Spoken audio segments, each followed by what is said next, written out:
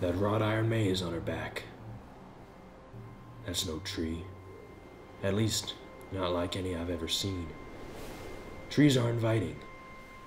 Things you can trust, be near, talk to, like them back at Sweet Home. Home of the prettiest trees in the world.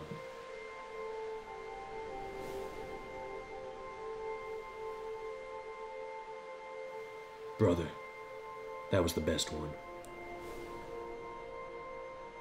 Where Sixo used to experiment with those night cooked potatoes.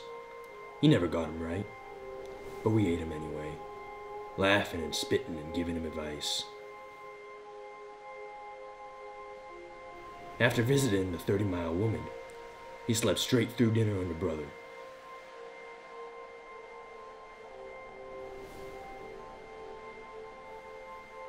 Now, there was a man, and that was a tree. Me and that tree can't compare.